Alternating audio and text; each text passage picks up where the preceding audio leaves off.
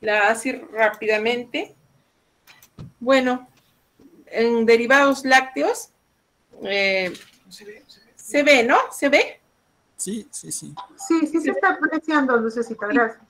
Ok, entonces, este, bueno, pues vamos a ver el tema de yogur, manjar blanco, queso fresco pasteurizado. A ver, seguimos. Eh, bueno, eh, ahí va el saludo pues de nuestro economista Rogelio Javier Guamaní Carvajal, director ejecutivo de Agro Rural, el ingeniero segundo José García Ramírez, jefe de la unidad de cadena de valor agrícola y ganadera, y el ingeniero Carlos Miller Malpartida, jefe de la unidad Zona Lima, y quien les habla, ingeniero Luz Garate Aybar, especialista en competitividad 4 de la Unidad Zona Lima. Bienvenidos a la charla virtual, saludos cordiales. Bueno, el, objetivo de este evento pues es aprovechar la producción de la leche para transformarlos en la cadena de valor de yogur, manjar blanco y queso fresco pasteurizado. Elaborar y producir productos competitivos, elevar el nivel de productos instantáneos, mejorar la calidad de vida de los productores de leche. Entonces la leche, bueno, como todos sabemos, es un líquido secretado por las glándulas mamarias de las hembras de los mamíferos tras el nacimiento de la cría. líquido de composición compleja, blanco, opaco, de sabor dulce, un pH próximo a la neutralidad. Eh, la composición, estamos en agua entre 86 a 90%, grasa 2.5 hasta 5%, proteínas 2.5 a 3.5%, carbohidratos como 4.8 a 5%. Y en minerales ahí tenemos calcio 125 miligramos por 100 mililitros, fósforo 95 miligramos por 100 mililitros, magnesio 12 miligramos por 100 mililitros. Eh, vamos a elaborar el yogur. Eh, la definición del yogur pues es la leche coagulada obtenida por la fermentación láctica mediante la acción del Streptococcus thermophilus y Lactobacillus bulgaricus. Los microorganismos eh, pues deben ser viables y estar presentes en el producto a consumir. Bueno, los beneficios pues son que regenera la flora intestinal, mejorando el funcionamiento del intestino, mejora la digestibilidad de la lactosa, excelente fuente de calcio, fósforo y potasio. Bueno, ese es el yogur frutado. Unas fotos. Tipo yogur. Hay tipos, diferentes tipos de yogur, ¿no? En función a la materia grasa. Cuando es entero, mínimo 2% de grasa y cuando es descremado, máximo 0.05% de grasa. De acuerdo a la textura, hay pues yogur bebible, yogur batido y yogur aflanado. Bueno, ahí tenemos la elaboración del yogur. Eh, tenemos la leche, vamos a elaborar con 4 litros de leche, a los cuales se le adiciona 100 eh, gramos de leche en polvo y azúcar 380 gramos. Esto lo vamos a llevar a pasteurizarlo, ya que de la ubre sale a 32 grados más o menos. Entonces lo pasteurizamos para pues eliminar los microorganismos eh, durante el ordeño o puede estar también el animal enfermo, entonces eh, llegar, se debe llegar a 85 grados, ¿no? A veces por 10 minutos. Para, luego vamos a hacer el enfriamiento, ¿no?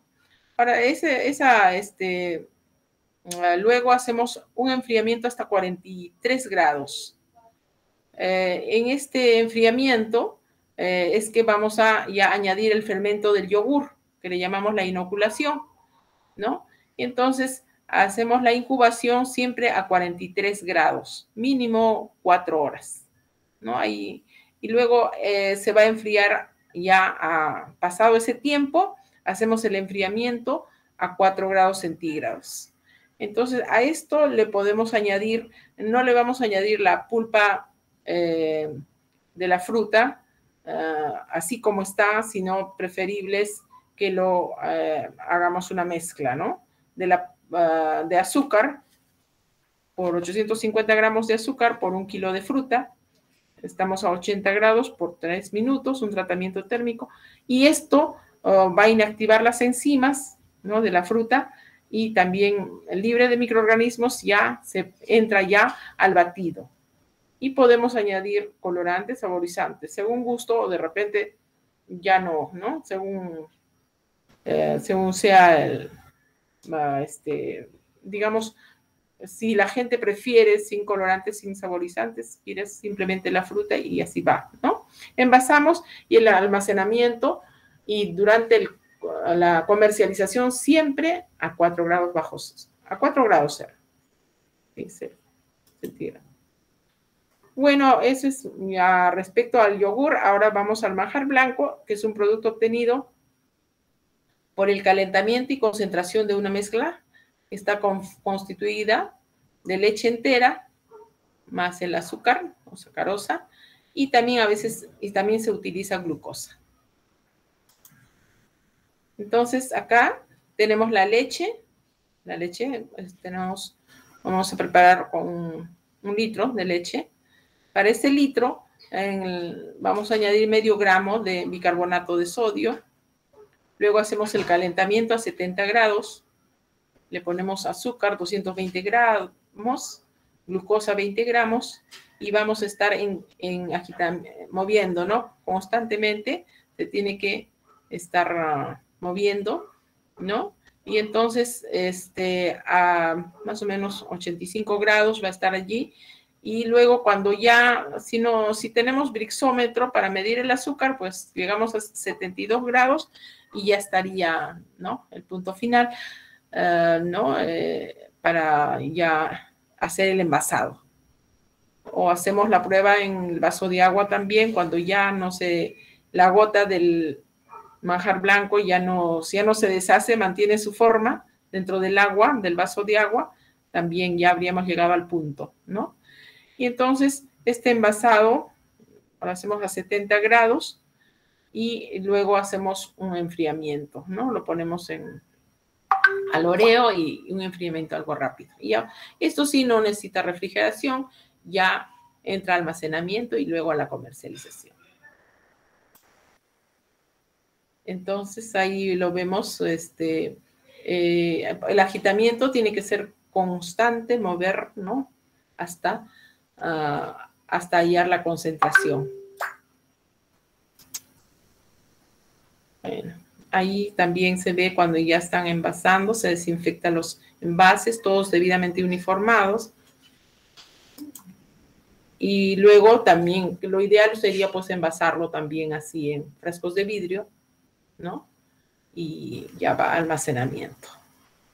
Eso es respecto al queso fresco pasteurizado. En la sierra mucho se simplemente este, no se pasteuriza, pero como les digo, en unas ferias que hemos organizado, pues estamos hablando del año 2004, 2000, sí, por esos años, este, trajimos las muestras, ¿no? Y casi nadie pasteurizaba en ese entonces. Entonces, este, por eso es que eh, hemos preferido ya, pues, eh, recomendado que lo pasteuricen, ¿no? Entonces, eh, se utiliza acá, pues, los fermentos lácticos, el cloruro de calcio, el, el cuajo y la sal. ¿no? y en este proceso este, depende, ¿no? Si hay, por el proceso de elaboración hay queso fresco, hay queso madurado, hay queso fundidos, y por la consistencia hay, hay pasta blanda, pasta semidura, por, la, por el porcentaje de, humedad, ¿no? Mayormente entre 52 a 65% es pasta blanda y eh, cuando la humedad está en 39 a 51% pasta semidura y menor a 39% pasta dura, ¿no?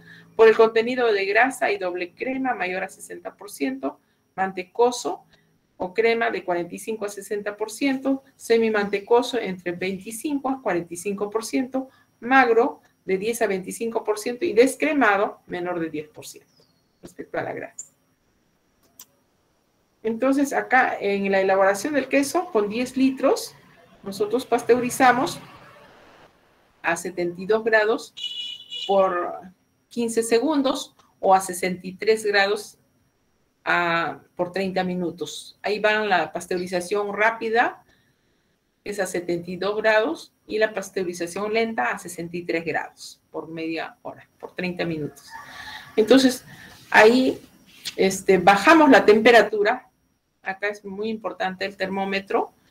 Entonces, lógicamente, con todas las condiciones de higiene, ya que todo lo que es lácteos son altamente perecibles. Entonces, tener todos los cuidados ¿no?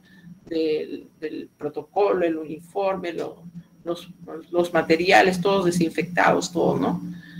Eh, esterilizados, todo, lo que vamos a utilizar. Entonces, acá vamos a añadirle cloruro de calcio, 1.8 gramos para 10 litros de leche, y luego le añadimos ya el cuajo, ¿no? 0.25 gramos de cuajo para 10 litros. Se disuelve previamente en poquita agua con pizca de sal, y esto le vamos a añadir siempre manteniendo a 35 grados de temperatura y de 45 a 1 hora, 60 minutos, se realiza la coagulación. Después hacemos el corte de cuajada y el tema de acá es que eh, generalmente la pasteurización no lo realizan, lo hacen en campo, ¿no? A veces los productores ordeñan y de frente pasan a la coagulación, ¿no? Pero es importante la pasteurización. Creo es muy necesario este, por la calidad del producto. entonces, para preservar la calidad del producto. Entonces, la coagulación 45 a 60 minutos, el corte de la cuajada, generalmente se utilizan liras, ¿no? Uh, sino con, nomás con cuchillos también, ¿no? Pero, bueno, el reposo 5 minutos, primera agitación, es suave, de 10 a 15 minutos, y se hace el primer desuerado. Una tercera parte del volumen eh, se quita una, en suero, ¿no? Un tercio sale en suero.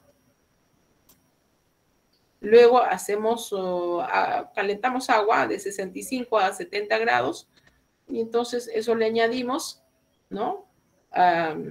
A, lo que le llamamos las partes sólidas que quedan, ¿no? De la cuajada y estaremos ya máximo llegando a 38 grados centígrados.